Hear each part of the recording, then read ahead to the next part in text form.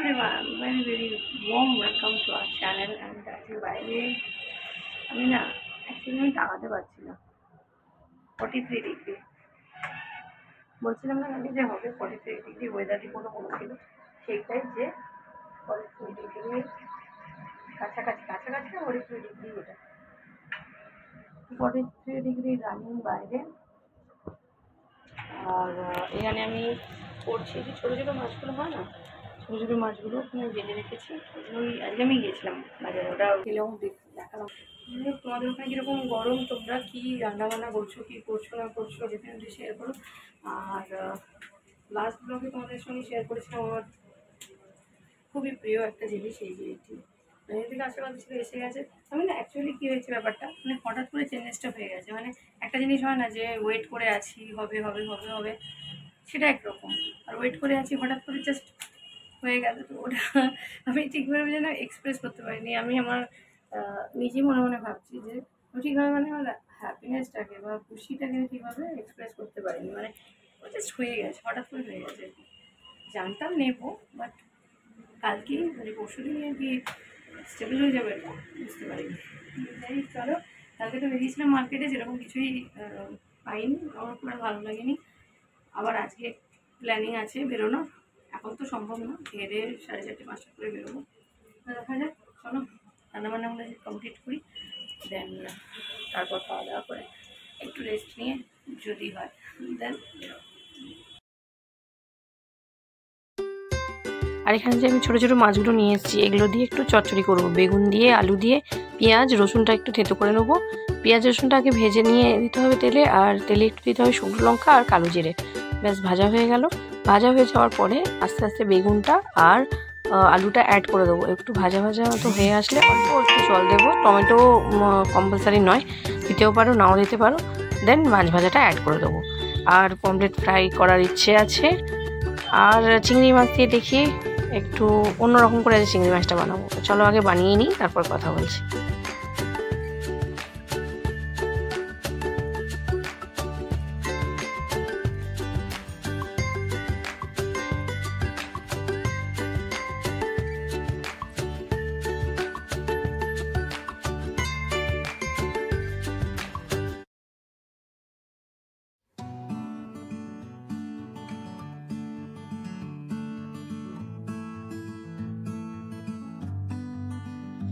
এই মাছের চচ্চড়িটা না আমার মাও বানাতো। মাও একটু অন্যরকম করে বানাতো মাও নিয়ে আবার একটু অন্যরকম করে বানায়।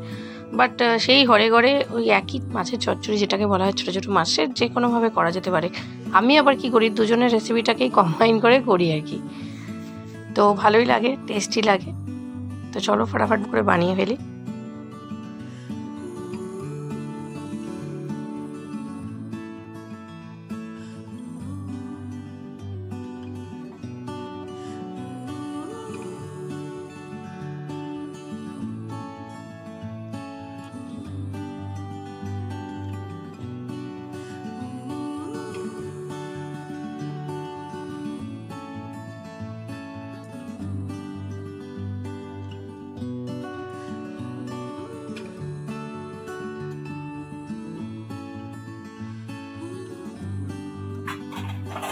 লাইটে যাই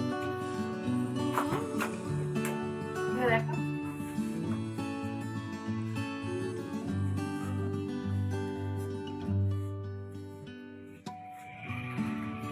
এইটা হচ্ছে যে মাছের চটচড়িটা আর চিংড়ি মাছটা নিয়েছিল সেটা ক্যাপসিকাম দিয়ে দু রকম ক্যাপসিকাম কাঁচা লঙ্কা পেঁয়াজ দিয়ে করা এটা মাছের চটচড়িটা এটা হচ্ছে পাঁচটা ভাজা আর এইটা অ্যাকচুয়ালি কি হয়েছে অমলেট মাছ দিয়েছিলাম আমি তাই আর সেগুলো ফ্রাই করার পর এত ভালো লেগেছে। তো আমি যে ব্যাটারটা বানিয়েছিলাম, সেটা করেছি একটু এঁচড় ছিল।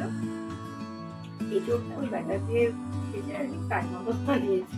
কারণ অমলেট মাছ আমাদের সেটে তো ওইটা আমার নতুন করে করতে এবার লাঞ্চ করব।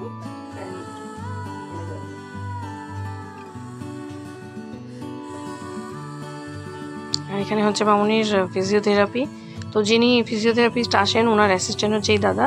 তো উনি তো এখনও আসেননি, উনি এক্ষুনি এসে যাবেন। হ্যাঁ বেল বেজেছে, তো দাদা এসে গেছেন।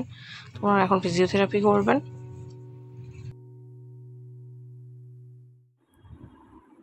সো মামুনির কিছুদিন আগে তোমাদের কোথাও একটা ভিডিও শেয়ার করেছিলাম? হ্যাঁ করেছিলাম। শরীর খারাপ ছিল, নিচে নিয়ে গেছিলাম ডাক্তারের কাছে। চেক আপ করাতে। ডেলি রুটিন চেক আপও আর পাটার জন্য কারণ মামুর তো অস্ট্রোপ্রোসিস আছে, অনেক আগে বলেছিল। অ্যাকচুয়ালি ধরা পড়েছিল তিন বছর আগে। মানে করোনার টাইমেই ধরা পড়েছিল। মেডিসিন নিয়ে অনেকটা কন্ট্রোলে ছিল। কিন্তু রিসেন্টলি যে আমরা দেশের বাড়িতে গেলাম না, পুজো টুজো ছিল, তো ওখানে তো আপস্টেয়ার্স ডাউন স্টেয়ার্স অনেক আছে মানে আপ অ্যান্ড ডাউন করতে হয়েছে। অভ্যেস নেই। এখানে তো লিফটে ওপর নিচ করা, তাও রেগুলারিটি মেনটেন করে না, যখন ইচ্ছে তখন।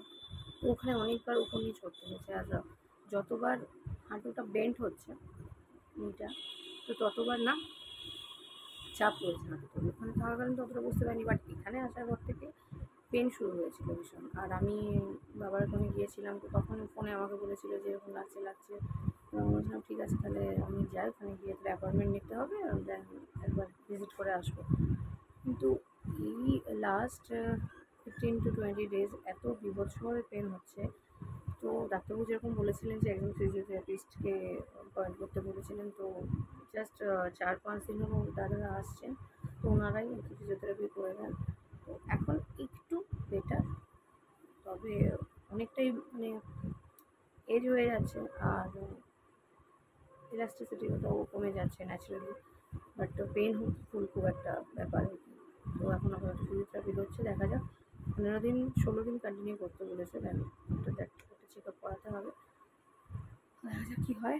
আর ব্যাকগ্রাউন্ড নয়েজ নিয়ে যেটা বলছিলাম, যেহেতু আমরা একদম রোডের পাশেই থাকি রোড ঠিক বলব না হাই রোড নয় বাট যে রোডটা আমাদের বাড়ির মানে একদম উইন্ডোর পাশেই আর কি বলা যায় আছে connected to N H six তো সবসময় এখানে গাড়ি বাস কিছু না কিছু ফোর হুইলারটা তো কমন বাইক বাইক তো ভেরি ন্যাচারাল বাট যখন কোনো জ্যাম হলো হাই রোডে বা কিছু প্রবলেম হলো অবস্টাকল কিছু রোডে হলো, এটা দিয়ে ট্রলার বড় বড় ট্রাক সবই যায়। তো নয়েজ যদি করা হয় ওখানে নয়েজ কখন হয় না, তো ওটা খুব কঠিন না twenty four into seven noise হয়। তো তার জন্য ভেরি ভেরি সরি ব্যাকগ্রাউন্ডে মিউজিক আমি জানি সবসময় জন্য চেষ্টা করি যতটা ভয়েস ওভার করে দেওয়া বাট ভয়েস ওভার দিয়ে কী হয় জানেন তো? মানে ওটা ইন্টারাক্ট করতে পারি মানে যেমন হয় না যে একটা বলা সবার সঙ্গে বসে বা গল্প করা, সেটা ঠিক হয়ে ওঠে না বাট কী করব এত নয়েস হয় আর এই টাইমটা ওই ডেলি যদি করি তো রান্না বান্না কিছু শ্যুট করতে হয় কিছু করতে হয়, তো রেগুলারিটি মেনটেন করে না দিলেও সাউন্ডটা খুব এফেক্ট করে Thank you.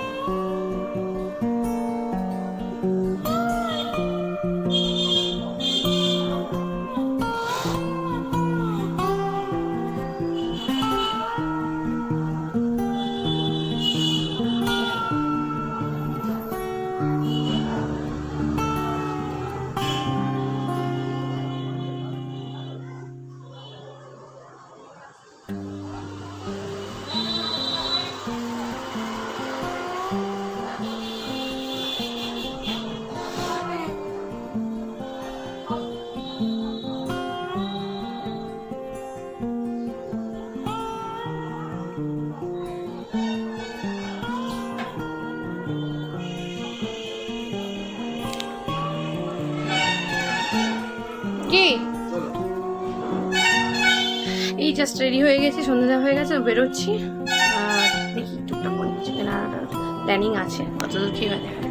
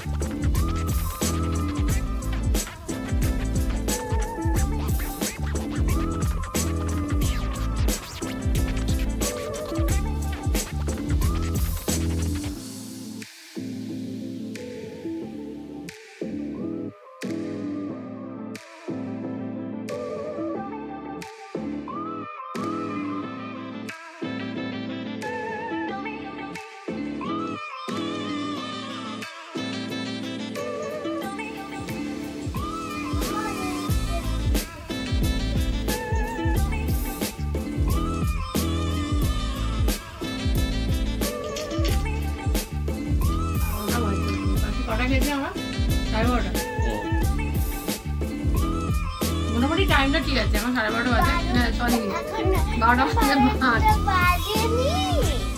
আমরা যে এসেছি এগারোটা দশ। এগারো দশ?